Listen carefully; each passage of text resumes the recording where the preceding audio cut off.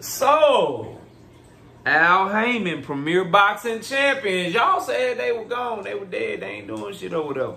Shout out to my boy, The Phenomenal Show. Put me up on this article of Al Haymon and Premier Boxing Champions and their plans for the rest of the year and um, kind of what they've been going through as they switched over from Showtime to, to Amazon Prime. And let me tell you, man, I couldn't be more excited for what I read in this article. We're going to talk about it in this video. Smash the like, sub to the channel, share the video, turn on your notifications. Catch me live Monday, Wednesday, and Thursday night at 7.30 p.m. Central Time. I'm also live every Sunday morning with KQKC Boxing Network. Sunday mornings at 9 a.m. Central Standard Time. Join the channel as a member. Drop super chats and super thanks when you come by the videos and the live streams that we do. And hit me up if you want to debate. Knockoutboxing86 at yahoo.com is the email address. Listen, bro. The more fights, the better as a boxing fan, number one. Number two, the hate that Premier Boxing Champions and Al Haymon get, to me, is just crazy, bro. And I don't know if it's because of Al Haymon um, being who he is or the things that he's done in boxing to, to get power and, and usurp people and the roads he's been able to take and avenues he's been able to take to just play the game at a higher level than his contemporaries in terms of getting around the Muhammad Ali Act and like really acting as a promoter, but not having to call himself a promoter, using guys like Tom Brown, Sampson, um, Manny Pacquiao promotions to kind of act as the acting promoters and matchmakers and shit while he kind of calls the shots from a high level view, like a general manager type shit, on the way that he was able to get fighters paid and kind of his business model, bro. I don't know. I don't know why, bro, but well, I know why from like Bob Arum, right? Oscar De La Hoya, Eddie Hearn, Turki. I can understand why there will be some tension there because they're competitors, right? They want to do better. They're all in business to, to make as much money as possible, and they want to do better than Al, right? Um, so I get it from them, but from fight fans, I don't understand like the hate or the disdain, or it seems to like really want to wish for them to fail, right? And I don't get it because when you look around, like the cards this year that have been the the, the best cards, right? The Tszyu Fundora card, the um, Tank Frank card, the the um, Canelo and Munguia card, the the um, Crawford Madrimov card. All of those have PBC footprints all over them. Even though PBC, for their own promotion and you know their own prime, the rollout has been slow. But we'll talk about what was said in the article a little bit down the line. But so so far in 2024, they had their hand in all of the big cards and big fights that you've been able to witness, all the memorable moments um, that have went viral in boxing. They've had their hand um, in a lot of them, right? And then when you even go back to last year, 2023, the, the year that PBC had was well documented. They gave you the biggest and the best fights last year as well. Ben- Benavidez versus Caleb Plant, Benavidez versus Demetrius Andrade.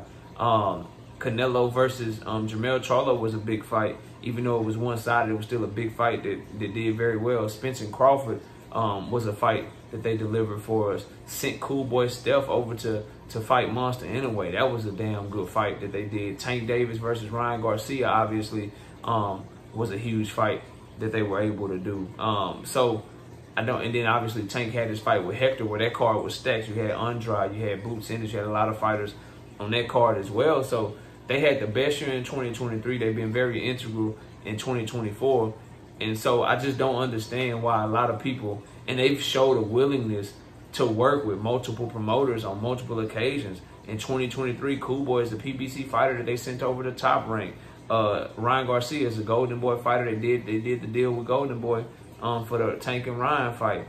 Um, shit, Deontay Wilder Fury, they, they they did business with Top Rank. And then this year alone, Turki, they did their own shit with uh, Tank and Frank. They did some joint shit with Canelo and Munguia. They did their own shit with Tim Tszyu and Fundora. They did the um, they they sent fighters over to Turki for um, for for his Riyadh season card. They helped Riyadh season build a very good card. They um, they did the Canelo and, and they're doing the Canelo and Berlanga card, um, which is a is a really big deal, right? They were about to do the the the the um, tank in, in, in Loma card, doing business again with Top Rank, but Loma pulled out of the fight. Like they like I, I just don't get it, bro. They they they've showed a willingness to work with everybody, but yet fans shit on them for the in-house shit. When if you really just look at the facts, they've done more business cross promotional than any other promotional outfit in boxing, bro. Just the fact of the matter, but whatever. So um, you have that. Um, but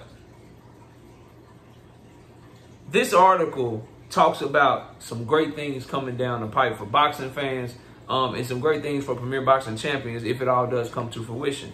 But um, they are planning on possibly. First of all, Al Haymon is back in the fold. Um, they explained the, the the slow rollout with Prime Video with two things, which the Al Haymon situation, I totally understand, bro. Your family got to come first. But long story short, he had a huge family emergency that he had to deal with. He wasn't really in the fold for the first part of the year, but he's been with the day-to-day business a lot more now, and uh, they're expecting things to go way smoother. That was one thing. And then the other thing that I think is also understandable, Prime Video had to get used to doing boxing events. Um, as the article states, which I agree with, boxing and doing production and stuff for boxing is much different than doing football. You know the schedule way ahead of time with football. That shit is rinse, wash, and repeat. In boxing, shit changes like the weather. You know, a main event can get pulled um, a fighter can pull out, people get injured and shit. Boxing is just a different beast. So Amazon Prime is ramped up. They've gotten better and more comfortable um, doing boxing events and shit. So they're expecting this year between September, September, October, December, September, October, November, December.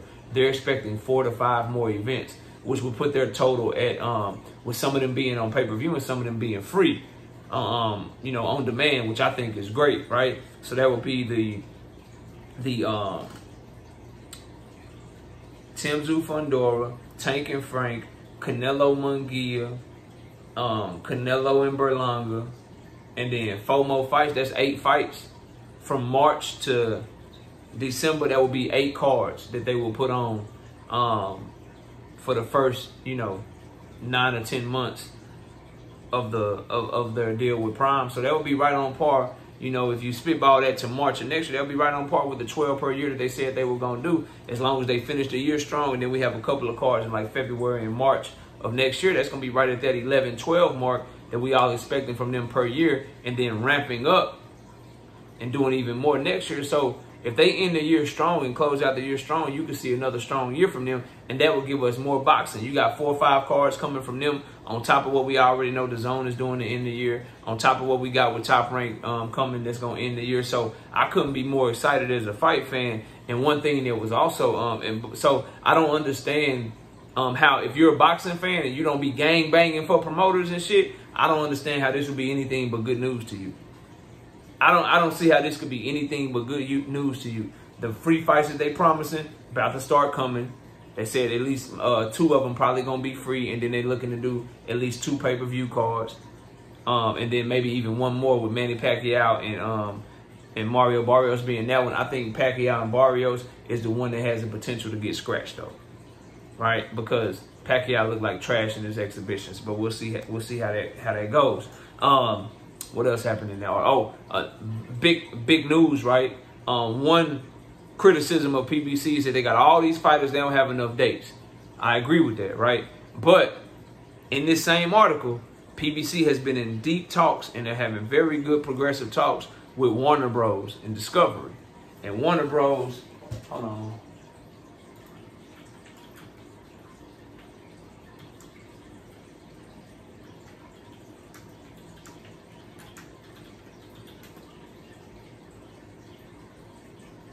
Okay, yeah. And Warner Bros. Discovery, they're the company that owns um, TLC, OWN, Food Network, Cooking Channel, HGTV, TBS, and TNT.